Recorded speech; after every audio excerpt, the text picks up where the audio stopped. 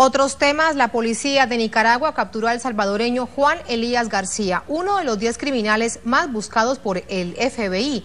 García, conocido con el alias de Crucito, fue detenido un día después de ser incluido en la lista de los más buscados. El sujeto es acusado de asesinar a su novia y a su hijo hace cuatro años en Long Island, en Nueva York. También es señalado de pertenecer a la pandilla Mara Salvatrucha, MS-13 de El Salvador.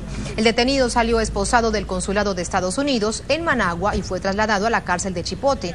Las autoridades locales informaron que posteriormente será deportado hacia los Estados Unidos.